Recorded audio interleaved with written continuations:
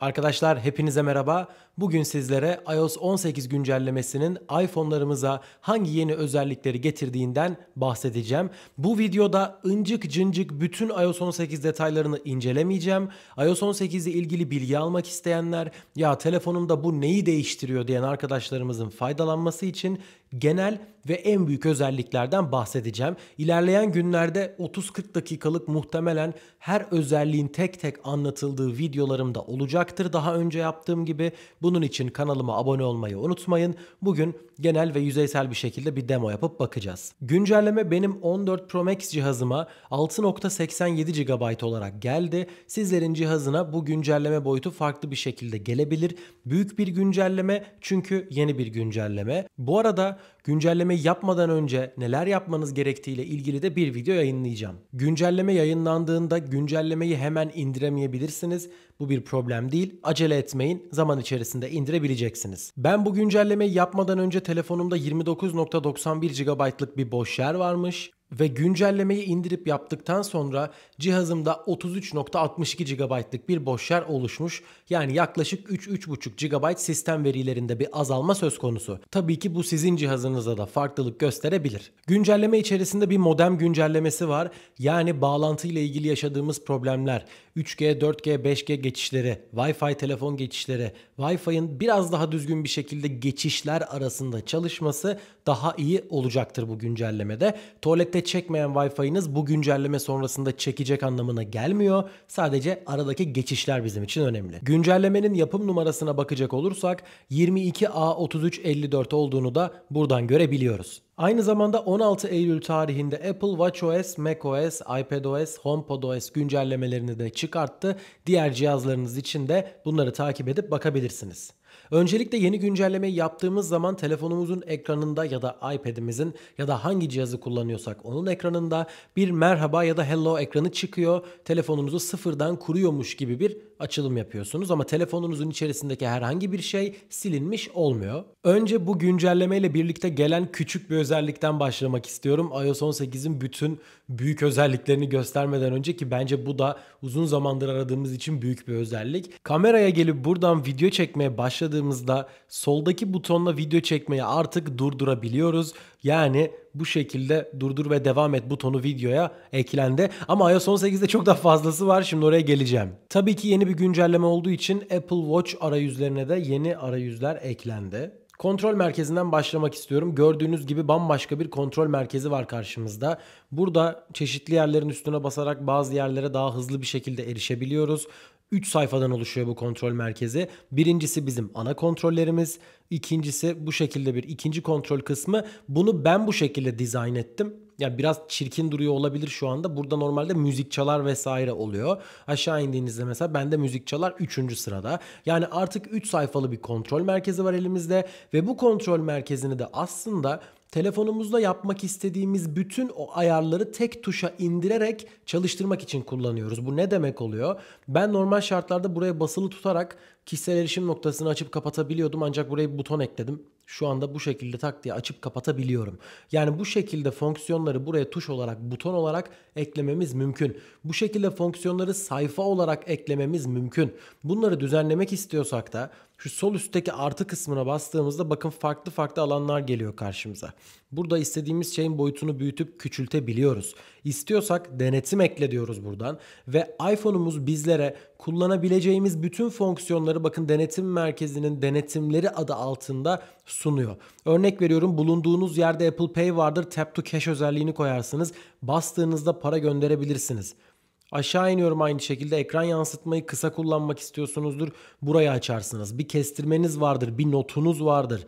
Apple TV için kumanda kullanmak istiyorsunuzdur. Shazam, sesli notlar. Mesela sesli notlar normalde denetim merkezinde olan bir şey değil ama ben bunu bu şekilde buraya eklersem eğer bastığımda sesli not başlatabiliyorum bu şekilde. Güzelmiş bu arada bunu beğendim.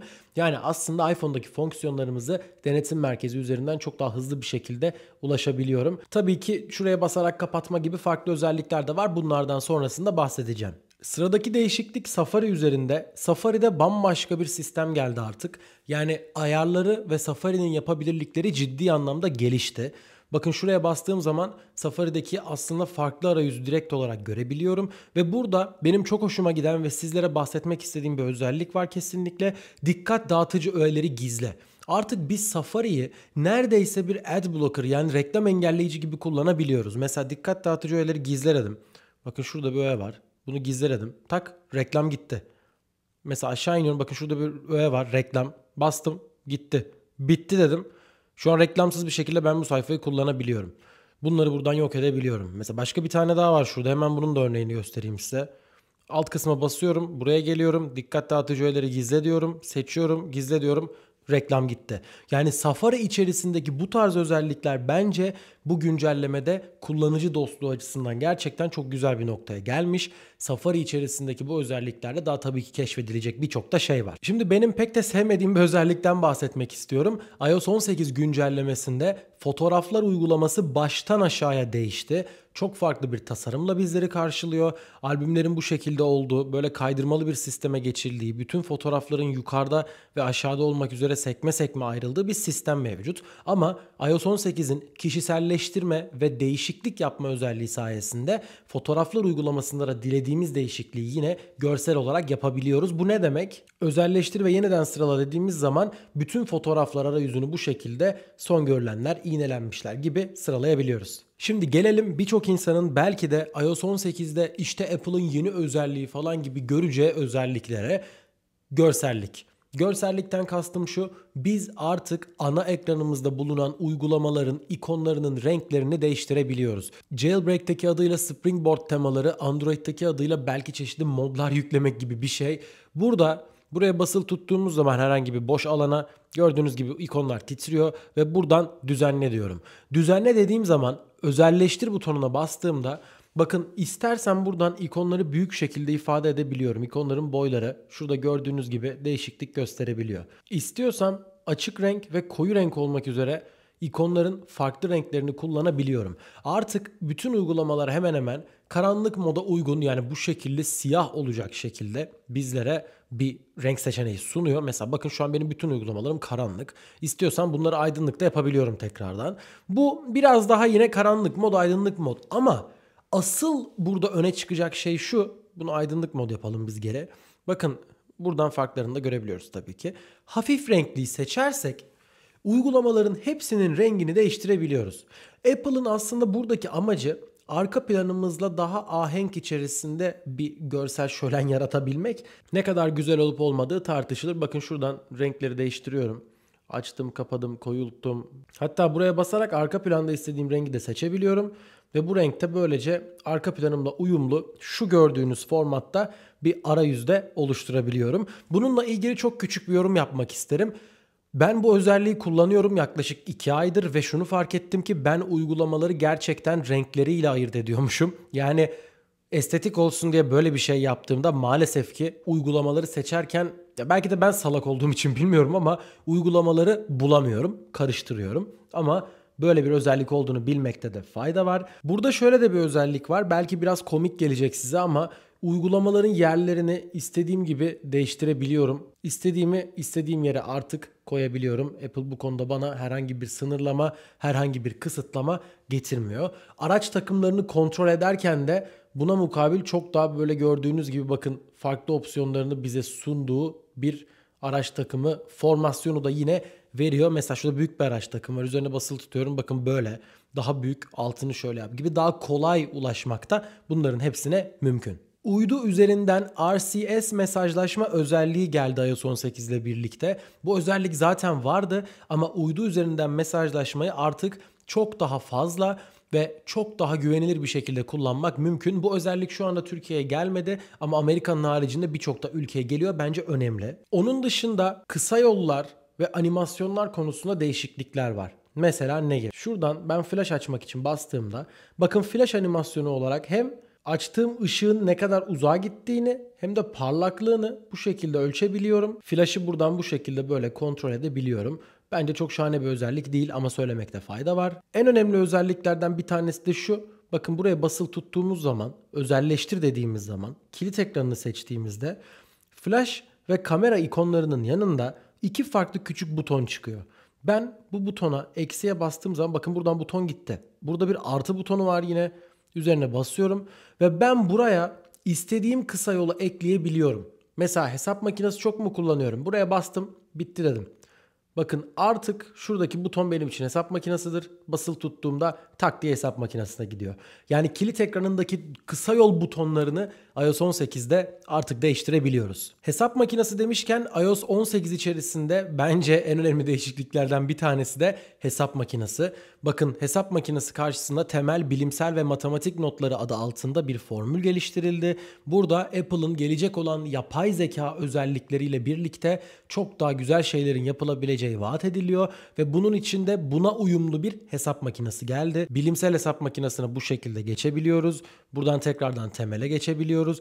Bir şey yazdığımızda bakın burada silme tuşu eklendi. Buradan AC gitti. Ben buna alışmakta biraz zorlandım ama hesap makinesinde güzel değişiklikler mevcut. Apple bu güncellemede bizlere erişilebilirlikle ilgili bir sürü özellik sundu ama ben size bugün bunlardan en etkileyici olayı olanını anlatmak istiyorum. Bunun için ayarlardan erişilebilirliğe geliyoruz ve göz takibi diye bir kısım var. Buraya geliyoruz. Göz takibi özelliği ile ilgili ayrı bir videom var. Onu da kartlara ekliyorum izleyebilirsiniz. Telefonunuzu gözünüzle kontrol etmenizi sağlayan bir göz takibi uygulaması bu. Açtığınız zaman çeşitli noktalara bakarak gözünüzü algılıyor ve kullanabiliyorsunuz. Bu tabii ki böyle Iron Man'deki gibi sağa baktım sola baktım gibi bir şey değil bir erişilebilirlik özelliği ama kesinlikle işe yarıyor ve denemeye değer. iOS 18'in öne çıkartılan önemli özelliklerinden bir tanesi de MacBook'larımıza iPhone'ların ekranını yansıtma ve bu ekranı yansıtırken ama mirroring olarak değil yani buraya bastığımda bakın şunu kullanarak hadi ben yansıtayım. Öyle bir şekilde değil bilgisayarımızdan telefonumuzu yansıtma ve bunu kullanmak üzerine bir özellik vardı. Bunu aktive etmek için de ayarlardan genele geliyoruz. Genel kısmına girdiğimizde AirPlay ve sürekliliğe geldiğimizde bakın şu anda bu Türkiye üzerinde ya da benim cihazımda kurulu olmadığı için görünmüyor. Ama ya da belki de şu anda iOS 18'e direkt olarak verilmemiştir. Geçtiğimiz betalarda vardı. Bilgisayarınıza telefonunuzu yansıtmanızı ve kullanmanızı sağlıyor. Ama tabii şunu unutmayın bilgisayarınızın da en son sürüme sahip olması gerekiyor. Ben mesela M1 Max bir bilgisayar kullanıyorum şu anda. Çok memnunum ve 2-3 versiyonda öncesinde hani en güncel versiyonda değil. Bunu kullanmam için benim en sona güncellemem lazım. Ama o zaman da performanstan fedakarlık yapabilirim. Ben maalesef ki kullanamıyorum. Buna dikkat edin. Ayarlar uygulamasında bazı değişiklikler var. iCloud'un içerisinde bazı değişiklikler var. Şöyle çok kısa bir şekilde göstereceğim. Bu şekilde bir değişiklik. Aşağıya iniyorum buradan. En alta indiğinde bakın uygulamalar ayrı bir sekme halinde burada duruyor. iOS 18'de gelen benim yine çok kullandığım özelliklerden biri de parolalar uygulaması. Daha önceden Kaspersky, One Password gibi uygulamalar kullanıyordum. Çünkü bütün web sitelerinde ve bütün girişlerdeki şifrelerimi hatırlamıyorum. Ben ve güçlü parola kullanmayı seviyorum ama güçlü parola kullandığımda da bunları ezberlemem mümkün değil. Bu yüzden geçiş anahtarı ya da bir parola uygulaması ihtiyacı duyuyordum.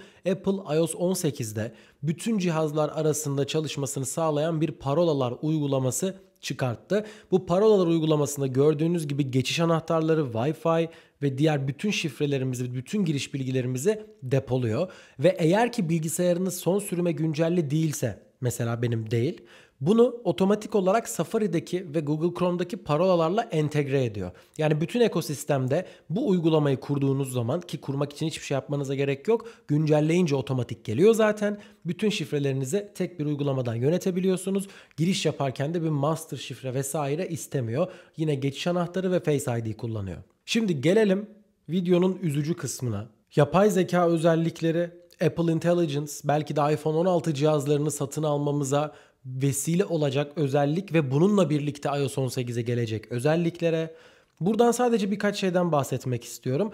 Apple Intelligence sayesinde iOS 18'de aramalarımızı kaydedebileceğiz. Karşı tarafın bilgisi dahilinde ve bu kayıtları dilediğimiz şekilde notlara aktarabileceğiz. Yapay zeka ile özetleyebileceğiz. Bunların transkriplerini çıkartacağız, notlar çıkartacağız. Yani ChatGPT ile günlük hayatta kullandığımız ve yaptığımız neredeyse bütün yapay zeka araçlarını artık iPhone'larımızda kullanabileceğiz. Bu da bunun en büyük özelliklerinden bir tanesi.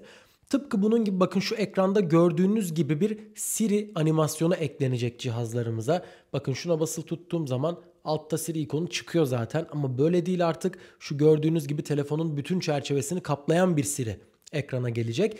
Ama bu güncelleme ile birlikte Apple bunu henüz yayınlamadı. Beta versiyonlarında bunlar henüz yayınlanmadı. Bunlar zaman içerisinde gelecek güncellemeler. Dolayısıyla sadece benim bugün yaptığım bu videoyla da iOS 18'in temel özellikleri sınırlı kalmayacaktır. Ama şöyle de bir gerçek var. Bunu belki görmüşsünüzdür sosyal medyada. Ben size birinci ağızdan söylüyorum.